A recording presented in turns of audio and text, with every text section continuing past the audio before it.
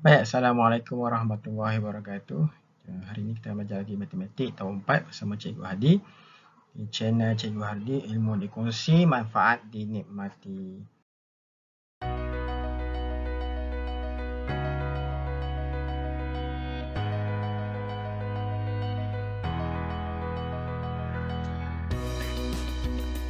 Assalamualaikum warahmatullahi wabarakatuh dan selamat uh, belajar. Hai murid-murid. Hari ini kita sambung pelajaran kita tentang tajuk matematik tahun 4 nombor dan operasi. Uh, pelajaran sebelum ni sebelum ni kita dah belajar tentang nilai nombor iaitu kita boleh tahu nombor ni sebut macam mana, angka tulisan macam mana dan kita tulis dalam balik perkataan. Jadi hari ini cikgu akan tambah lagi pelajaran yang kedua iaitu nilai tempat. Dan yang kedua nilai digit. Kita nak tahu tempat ni tempat dia berapa nombor itu. Ha, jadi senang kalau nak ingat cikgu punya formula ingat rumah dan dalam perkataan dalam perkataan kalau nilai digit pula dalam nombor. Digit tu adalah angka ataupun nombor. Faham ini? Okay? Senang aja. Saya bagi nombor contoh. Contoh 7, 5, 4, 3, 2. Ha, nombor special kan.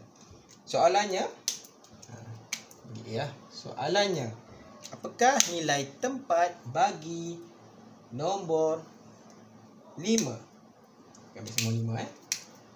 Dia gariskan okey. Nombor 5 ni apa nilai tempat dulu tempat ni rujuk pada rumah ingat. Saya daripada kalau daripada kiri daripada kanan ni sa puluh ratus ribu puluh ribu. Sa puluh ratus ribu puluh ribu. Jadi kita kira sini sa puluh ratus ribu. Jadi rumahnya rumah ribu. Dia tanya apa kena tempat dia? Jawapannya adalah ribu. Senang kan? Ha, senang saja. Ini kalau soalannya nilai tempat. Kalau kita berikan nilai digit. Digit tu nombor. Tak apa. Jom ambil soalan kedua lah. Ha, supaya kamu, oh cikgu apa tak faham lagi tak? Kita tengok ni. 8, 9, 2, 0, 4 Okey, cikgu nak.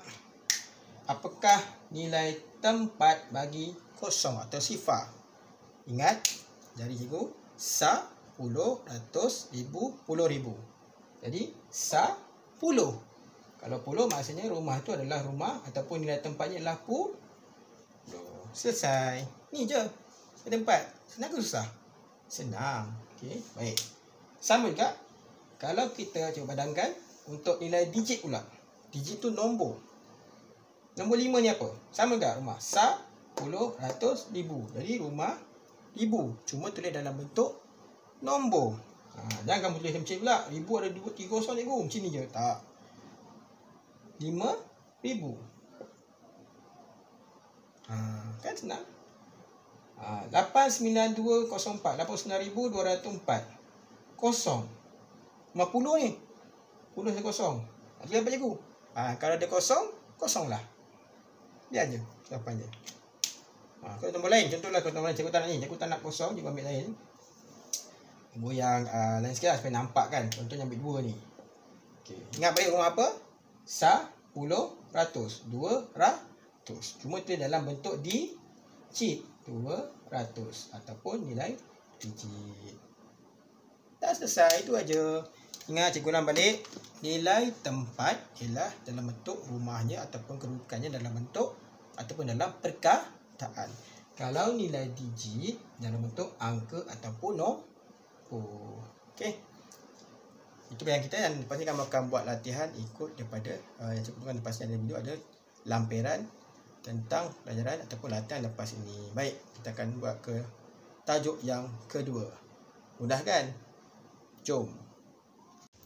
Baik, topik yang kedua ataupun pelajaran kita yang kedua ialah tentang cerakinkan. Cerakinkan ataupun pisah-pisahkan cerah-cerahkan siapa? Antara nilai tempat dan nilai digit. Ha, cikgu kat mana eh? Nilai tempat dan nilai digit. Ingat balik eh, kalau kita sebut tempat, maksudnya ialah rumah-rumah dia. Sepuluh, ratus, ribu dan puluh ribu. Kalau kata nilai digit, ingat nombor. Okey, mudah. Cikgu ambil satu contoh. Hitamkan. Menggunakan hitam. Nombornya 94725. Ingat sebut macam mana ni? Ada 5 nombor. Kita komakan sendiri supaya 6. 94,725. Soalannya cerakinkan ikut nilai tempat. Okey, dia kata tempat, ingat perkataan. Tak tahu kan ni rumah apa kan? Ni rumah puluh ribu, ribu, ratus, puluh dan sa. Jadi tulis semula. Ha, tugasan kamu tulis semula T sembilan puluh ribu tambah empat ribu tambah tujuh ratus tambah dua puluh dan tambah lima rumah sa. Selesai. Dah kan? Ini namanya cerakinkan ikut nilai tempat. Tu. Ha, selesai. Kalau dia kata, okay, berikan ya, dalam bentuk nilai cerakinkan ikut nilai digit. Benda yang sama. Kita nak balik 90,000 dan kita tulis dalam bentuk nombor 90,000 tambah 4,000 tambah tujuh ratus tambah dua puluh dan tambah lima. Selesai. Okey? Mudah tak? Mudah. Okey lepas ni kamu akan buat latihan. Kalau tak faham ulang balik video cikgu tadi. Okey ada benda cikgu tadi laju tapi kamu ulang balik video ni supaya kamu dapat uh, menjawab soalan selepas ini. Baik kita akan jumpa lagi pada pelajaran yang akan datang. Assalamualaikum. Bye bye.